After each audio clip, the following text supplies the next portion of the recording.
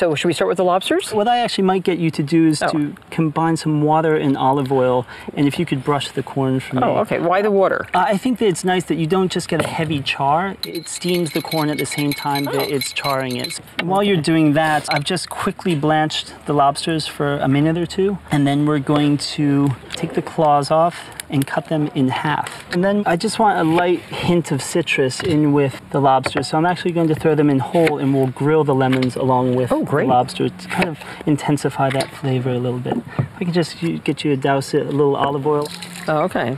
some salt. Is that enough? Yeah, I'll give this just a quick.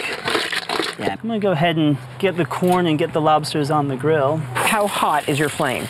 I like to start with a very hot flame and then you can always turn it down later. And also with the lobsters, I always start with the flesh side down and then we'll turn them over and basically they'll roast in their shell.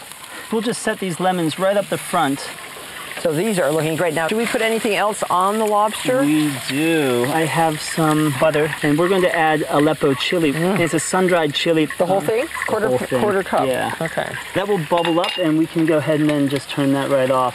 Give these tails a quick brush with the Aleppo butter. Okay. This should only take uh, five or six minutes on the grill.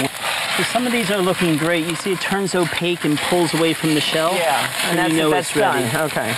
I'm gonna put these all into a bowl so that we can toss them together.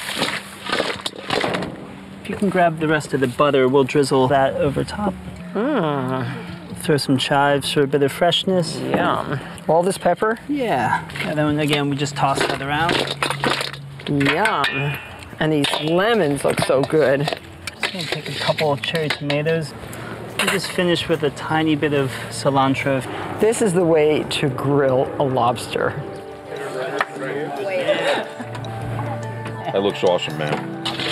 Oh, here's the goodness right there. May I? Yes, May I anoint your plate with goodness? please. That's it.